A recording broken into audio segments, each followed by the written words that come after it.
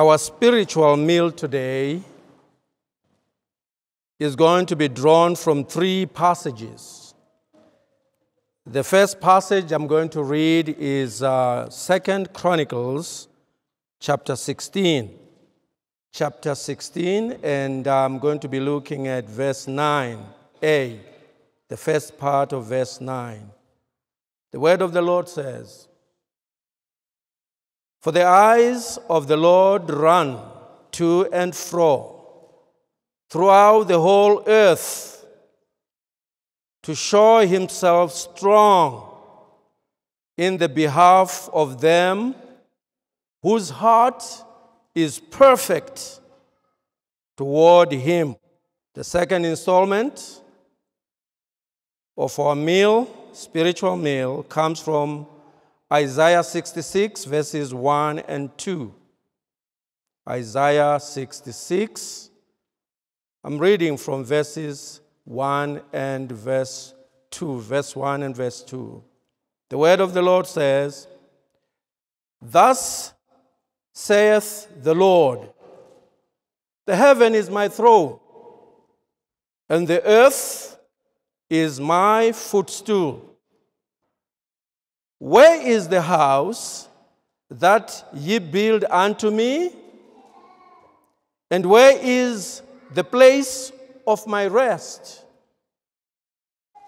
For all those things hath mine hand made, and all those things have been, saith the Lord. But to this man I will look,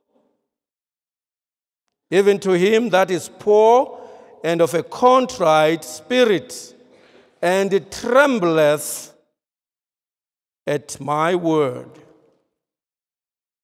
The last installment, Matthew chapter 6, verse 33. But seek ye first the kingdom of God and his righteousness, and all these things shall be added unto you. The title of our sermon today Headlining. Headlining.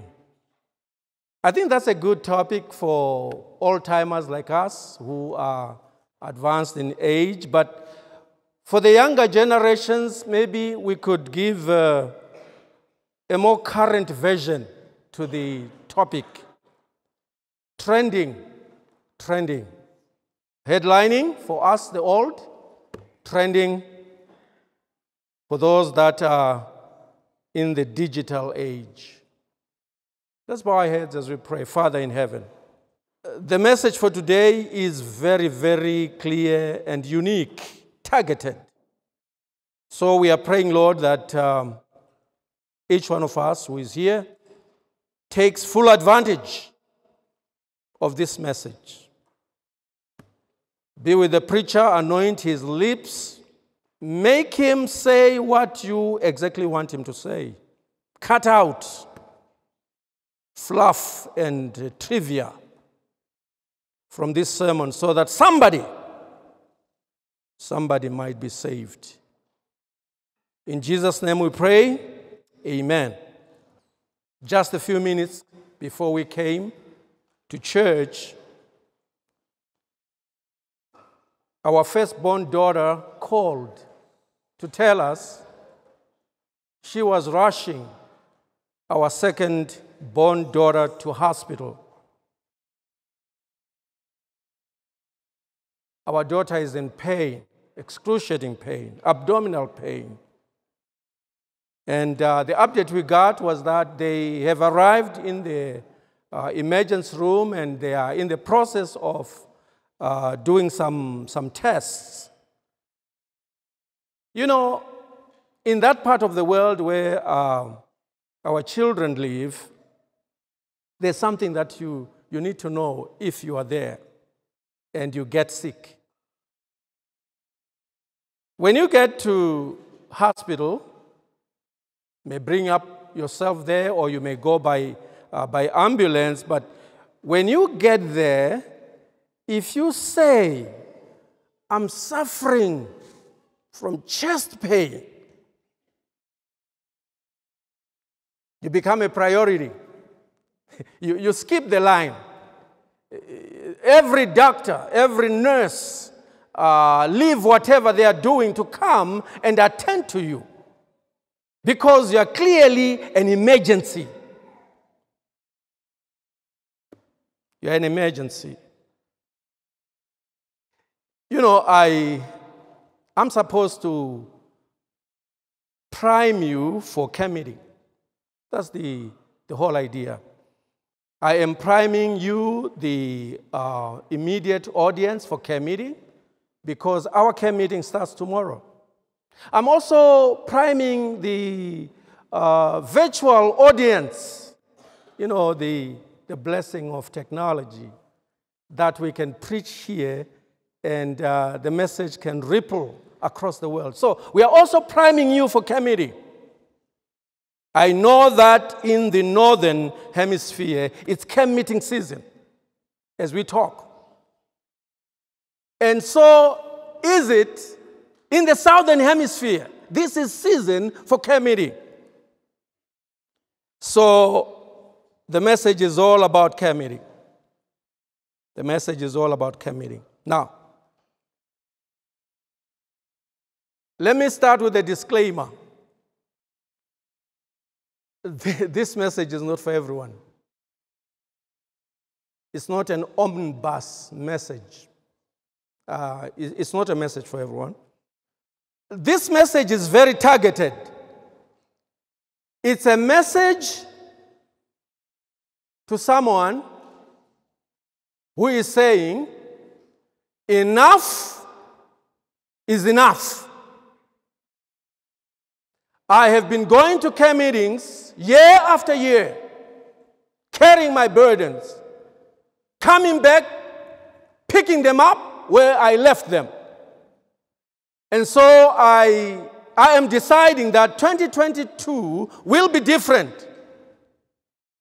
Camp meeting this year is going to be different for me. I want to steal the headlines I want to steal the headlines. You see, my dear friend, when we go to camp meeting, we look forward to congregating with many people. It is very easy to be a statistic when you go to camp meeting. It's easy to be background noise or accompaniment to those who are coming to receive their blessing. When you go to camp meeting this year, refuse to be a statistic. Tell the devil, enough is enough. I am going to steal the headline. I'm going to be headlining. I'm going to be trending in the heavenly courts, not the earthly courts. So, this message is very specific.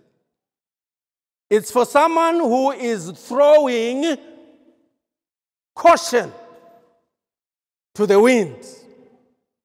They don't care about what somebody else is thinking, what somebody else is saying. When they go to camp meeting, they are going to wrestle with God, just like Jacob did. All night, Jacob wrestled with God. And in the morning, because he had prevailed, the angel of the Lord said, uh, Let me go. But Jacob refused. He said, I am not letting you go before you bless me. The Lord's eyes, which range and which run to and fro, are looking for somebody who is saying, Enough is enough. I will not let you go before you bless me. This morning, dear friend, I'm not speaking to everyone, I'm speaking to somebody. Somebody who has had an illness for a long time, defying treatment. You have been from hospital to hospital. The prognosis looks bad. And you are telling yourself, I am going to camp meeting. Congratulations, you are coming to camp meeting. When you come to camp meeting, refuse to be a statistic. Refuse to be a footnote. Headline camp meeting. Let heaven know you are at camp meeting. Let heaven know you are not going to let go until you receive your healing. I'm talking to somebody who is refusing to come to terms with their condition. You know, the greatest hindrance to breakthroughs in our lives, in our Christian lives, is that we, we become comfortable with our adversity. We become comfortable with our poverty. We become comfortable with our illnesses. So that when we go to these big gatherings, we go accompanying those that are going to receive a blessing. And we come back the same way we went because we never claimed our blessing. I'm talking to somebody like Jacob today. And my dear friends, when you feel during the course of this short message that um, I have targeted you and uh, you resonate with uh, the message that has come to you, I invite you to come and stand with me here. We're going to have a big prayer at the end. But I want to talk to somebody. I'm not talking to everyone, I'm talking to somebody. Do you have a situation that you have become cozy within. You, you, you look at your situation. Uh, let me talk to Solusi right now because you're going to camp meeting. I'm talking to Solusi, the entity Solusi. Enough is enough. Enough is enough, Solusi. enough is enough. We are the premier institution, Adventist institution, uh, this hemisphere, this side of the world. Are we the head or are we the tail? God is looking for somebody who is going to intercede for Solusi, the way Daniel interceded for his people, confessed the sins of his people.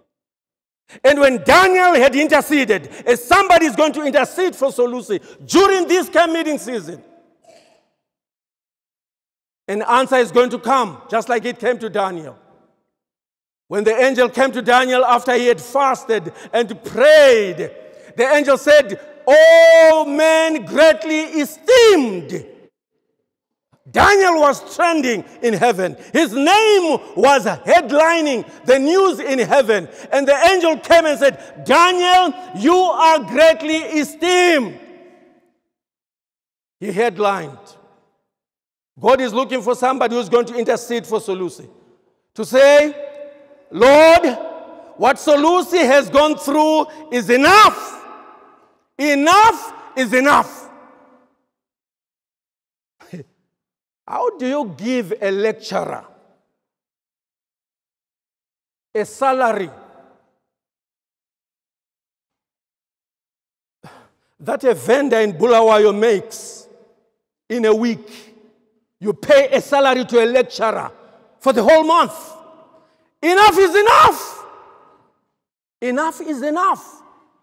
I mean, how do you pay uh, the administrator of this institution pittance, a measly salary, and think that is normal? Enough is enough. How do you work for God? And you can barely provide food on the table. Enough is enough.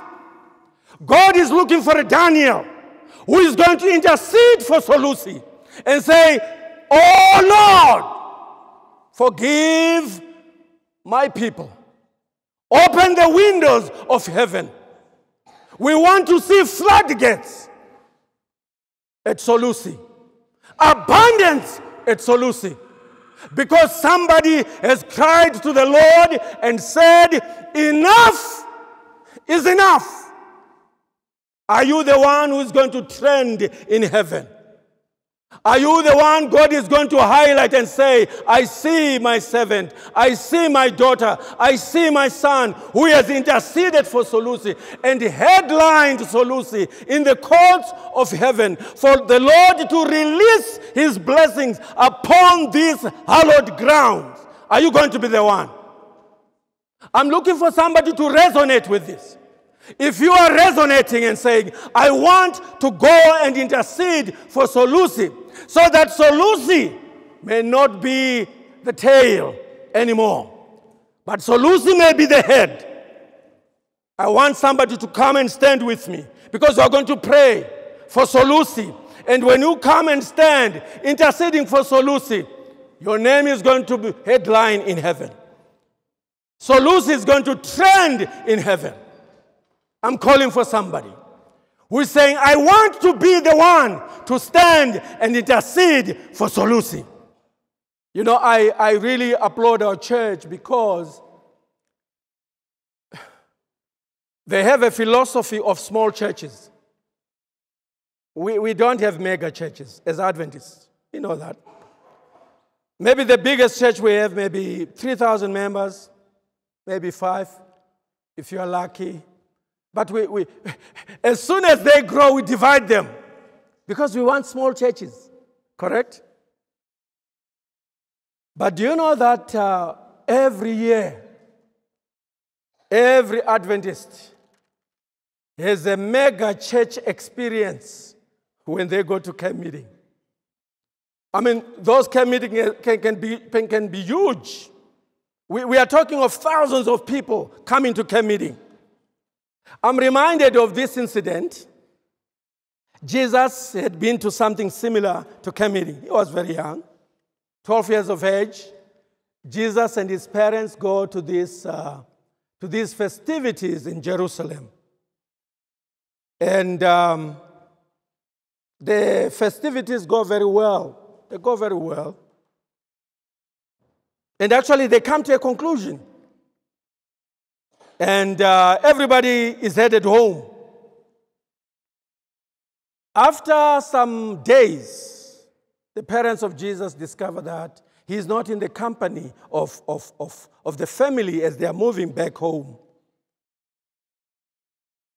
And the parents retrace their steps back to Jerusalem, back to the place where the festivities had been held.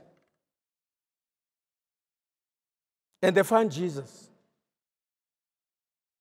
among scholars, asking difficult questions. Scholars uh, struggled to answer. Answering difficult questions, scholars could not, could not, could not ask. And the Bible tells us that the parents of Jesus found him, and when they did, when they did, they told him, Why did you get us through this? I mean, why did you drag us through this uh, trauma and anxiety? And Jesus reminded them, Did you not know I'm about my father's business? Jesus went to the festivities and he stole the headlines towering higher than the scholars of the day because he was about his father's business. When you go to camp meeting, what's going to be preoccupying you? I know camp meetings. They're great opportunities to show off my latest camping equipment. Look, Last year I used the grass and leaves. this year it's different, man. I have uh, camping gear, camping equipment. Maybe last year you, you came to camp meeting on a, a scotch cart with some donkeys pulling your scotch cart, loaded with your belongings. But this year you say, man, it's different. I'm going to roll into the campgrounds on wheels, driving the latest. And I want everybody to show, to see me. It's an opportunity when you go to camp meeting to show off how much you have acquired during the course of the year. Now, let me talk to ladies. I mean, ladies, how can we leave this out? You are going to camp meeting. I mean, camp meeting. We can start with hairstyles. Hairstyles. You will be there. You want them to see that you have been to the, to the hairdresser. You are with it. You are, you are you're contemporary. Your, your fashion is not outmoded. You are with it. Uh, let's move, let's move, let's move down to the wardrobe itself. I mean, I mean, camp meeting perfect. Perfect time. It's a perfect time. It's like you are on the runway of a fashion show. Yeah. In the morning, morning services, then one outfit. Quickly, you get into another outfit. Before the day is over, a third outfit. Mm-hmm. And there are some who are going there for various reasons, camp meeting. But let me tell you, my dear friend, camp meeting is not about travelogue. It's not about those trivial things that people go for. Camp meeting is about headlining your need to God. Do you have a desperate and urgent need? Then go and take it to the Lord during camp meeting. That's what camp meetings are for. I'm about to close, my dear friends, but I can't do it without uh, sharing the experience of Bartimaeus. Jesus was passing through Jericho, as we all know, and uh, Bartimaeus decided it's now or never. I'm going to get my, my healing, my miracle today, or I won't. And what did Bartimaeus do? He shouted. And those that were near him calmed him down. Throwing all caution to the wind, Bartimaeus even shouted the more. My, my dear friend, as we go to camp meeting, I don't know what formula you're going to use. Some of you are going to shout like Bartimaeus. You're going to do something unconventional, something counterintuitive, something that has never been done. Do it. It's your moment. It's now or never. If heaven, whose eyes are raging and ranging from one side of the earth to the other, if God's eyes, which roam to and fro, spot you as you shout, you will headline and receive your miracle. If you are in a situation that is dire, a situation that is grim, a situation that is urgent and desperate, camp meeting is for you. It is for you. Away with the idea of going to camp meeting to just accompany those that are going to receive a blessing. Away with the idea of going to camp meeting for just becoming a footnote.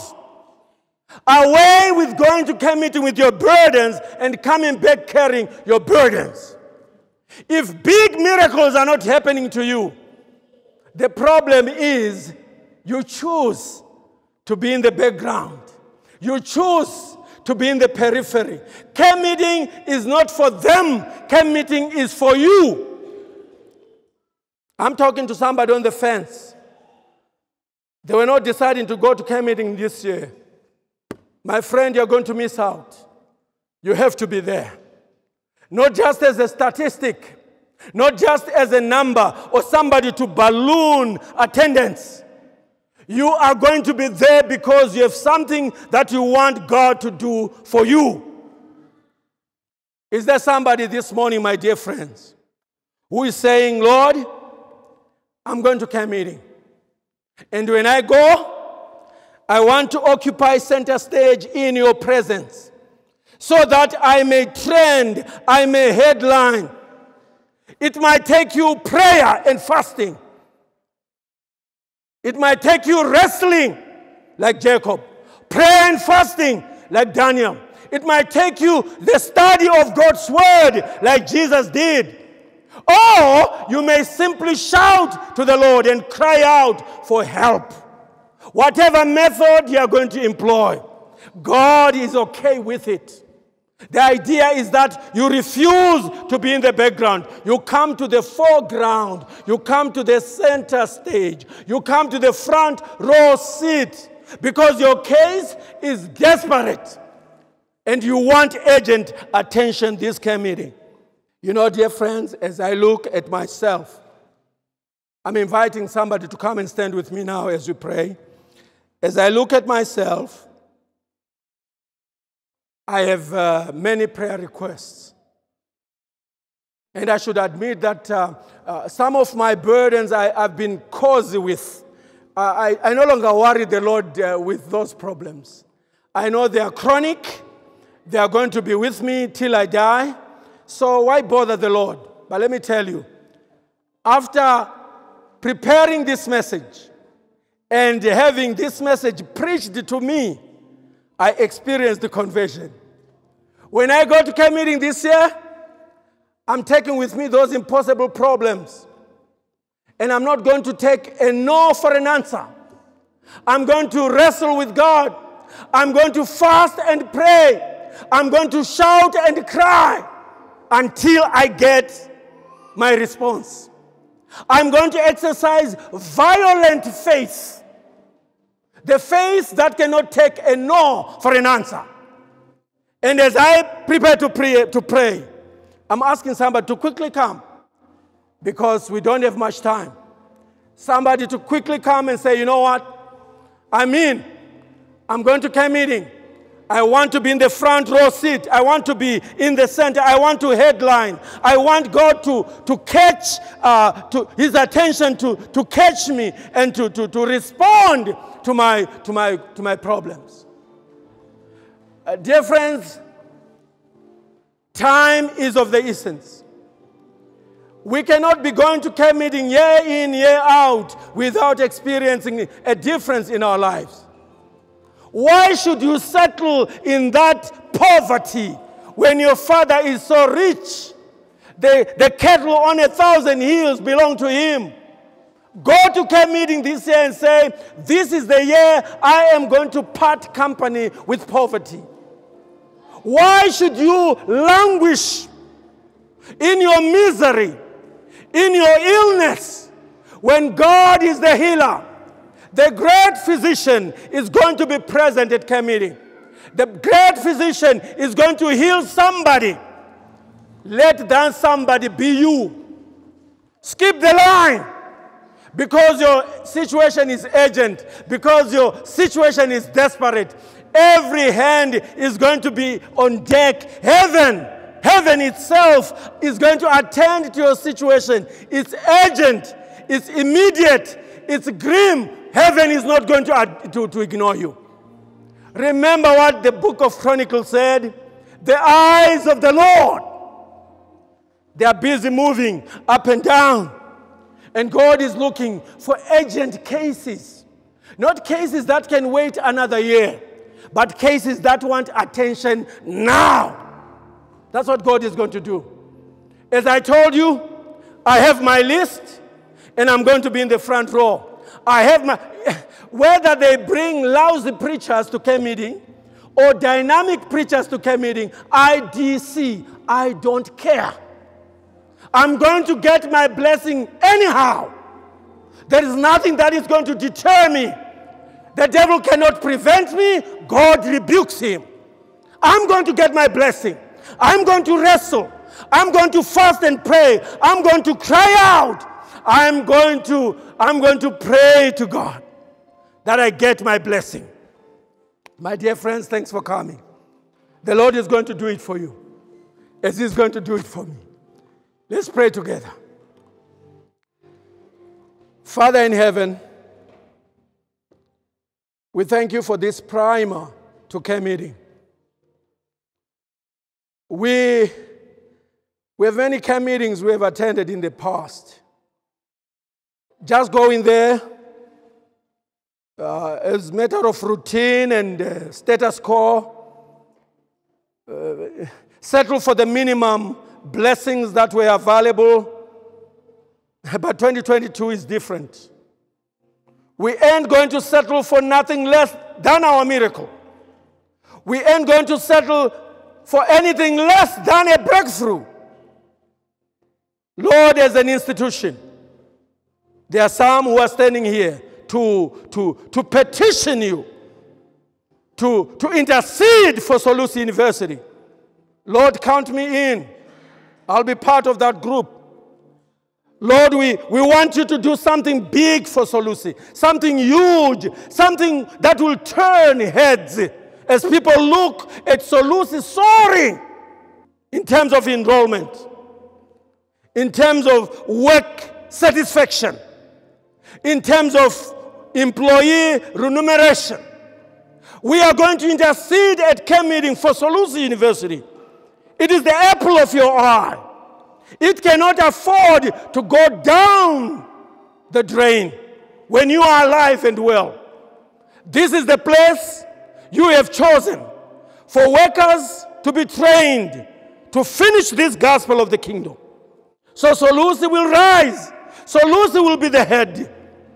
And the whole world will know. Solusi is going to camp meeting, and Solusi is not settling for nothing less than a mega mega breakthrough. Lord, this message targeted us as individuals, not as groups. We know why we are standing. We have something on our heart. We have a burden. We have something that has defied solution. Doctors have told us, go home and die. Lord, we are praying in the name of Jesus, the name that is above every name.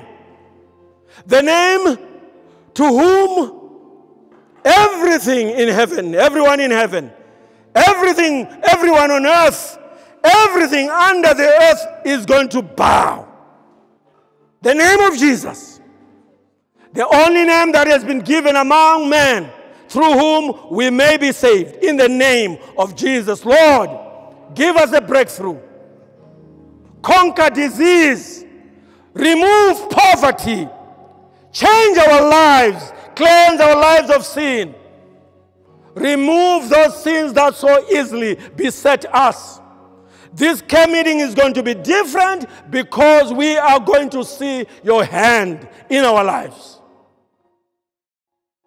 Lord, when we shall return from camp meeting for the rest of the year and for the rest of our lives, we shall continue to give you glory and praise for what you would have done, for what you are going to do for us. Oh, thank you, Jesus. Thank you for the privilege of camp meeting. We are going, but we're not going to settle for anything less than the headlines. We want to headline this camp meeting in glory, we want to headline it in heaven. Heaven, our name should trend to say, look at her, look at my son, look at my daughter. She is at camp meeting. She is the, the, the center of what is happening there. Because our answers are going to come and we are going to thank you eternally. Lord, we have prayed these things, believing and trusting that you are going to answer them. Indeed, you have already answered them. Because we have prayed these things in Jesus' name, let the church say amen. Amen. Thank you, my dear friends. We can go back to our seats.